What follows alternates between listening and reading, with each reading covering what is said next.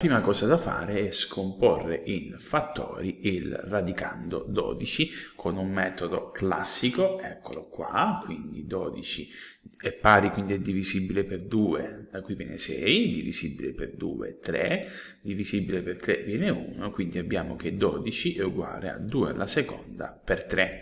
Naturalmente se riuscite, almeno con i numeri piccoli o anche con gli altri, a fare a mente, nessuno si offende, altrimenti questo metodo vi assicura la scomposizione. Quindi possiamo riproporre al posto di radice di 12, eccola qua, la radice di 2 alla seconda per 3. Ora, una volta ottenuta una scomposizione in fattori, possiamo trasportare un fattore fuori dal segno della radice. Questo è fondamentale, mi raccomando, se all'interno avete ad esempio 2 alla seconda più 3, 2 alla seconda non può essere trasportato fuori, c'è bisogno di un prodotto, eventualmente di un rapporto con fattori al denominatore, ma di questo caso parleremo in altre sedi. Ora, quello che possiamo fare, e vi spiegherò dopo il perché, è trasportare tutti i fattori, in questo caso 2 alla seconda, che hanno un esponente divisibile per l'indice di radice, che in questo caso è 2. E l'operazione fondamentalmente è quella di portare il 2 all'esterno con un esponente pari a 1, che è proprio il risultato della divisione tra l'esponente 2 interno e l'indice di radice. Il tutto moltiplicato per la radice di 3. Ora, perché possiamo trasportare tutti i fattori che hanno esponente divisibile per l'indice di radice? Semplicemente perché le radici quadrate, così come tutti i radicali, nel frattempo sto cercando la penna, eccola qua, sono delle potenze, quindi tecnicamente io potrei scrivere radice di 2 alla seconda per 3 come 2 alla seconda per 3 tutto elevato alla 1 mezzo. Applicando le proprietà delle potenze questo viene scritto come il prodotto di 2 alla seconda alla 1 mezzo per 3 alla 1 mezzo, quindi abbiamo anche un briciolo di dimostrazione. Ora esponente per esponente in entrambi i casi abbiamo 2 alla 2 mezzi che è 1, 2 alla 1, naturalmente anche lasciando il 3 come 3 alla 1 mezzo e ricordandomi che appunto alla 1 mezzo equivale alla radice quadrata, possiamo scrivere questa espressione come 2 radice di 3. Ora, naturalmente, nello svolgimento dell'esercizio non andremo a fare tutti questi calcoli che cancello immediatamente, Eccoci qua, ma sfrutteremo questa proprietà appunto legata alla natura delle radici che sono potenze esponenti razionali, semplicemente trasportando appunto tutti i fattori che hanno esponente divisibile per l'indice di radice all'esterno e ponendo come nuovo esponente il risultato della divisione tra l'esponente di partenza e l'indice. Ma andiamo avanti. Procediamo quindi in maniera analoga al caso precedente andando a scomporre in fattori 72, lo faccio qui, è un numero pari diviso 2 è 36, ancora pari diviso 2 è 18, ancora pari diviso 2 è 9, divisibile per 3 fa 3, divisibile per 3 1.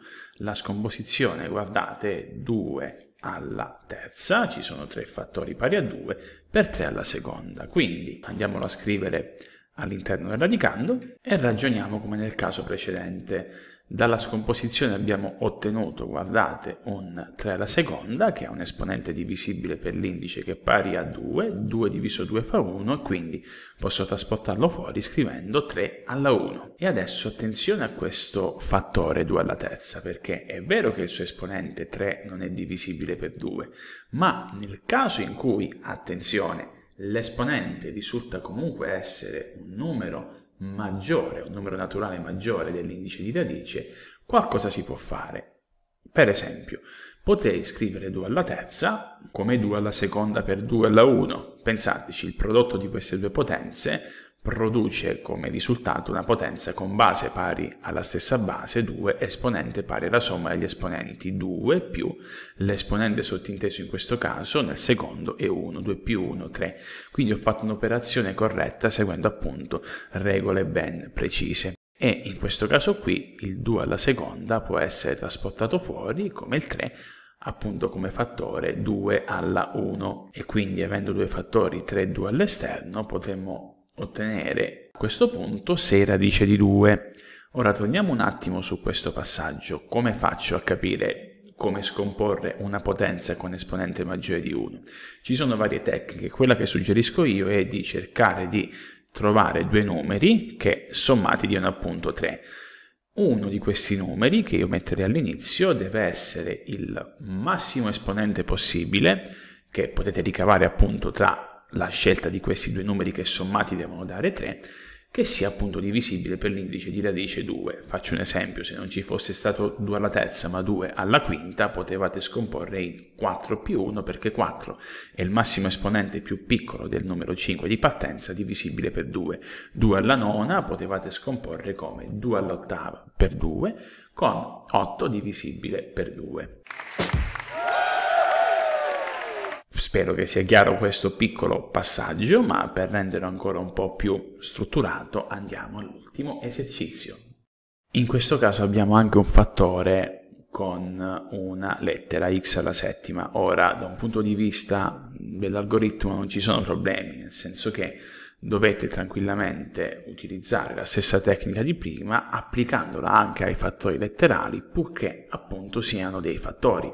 E qui abbiamo un prodotto tra 48 che possiamo scomporre in 2 alla quarta per 3 questa volta fidatevi ve lo offro io in omaggio perché 2 alla quarta è 16 che per 3 fa 48 provare per credere per x alla settima abbiamo tre fattori Utilizziamo lo stesso principio usato in precedenza per il trasporto fuori dal segno di radice, per esempio 2 alla quarta è un fattore che ha un esponente divisibile per 2 e 4 diviso 2 produce come risultato 2, quindi in questo caso avremo 2 alla seconda.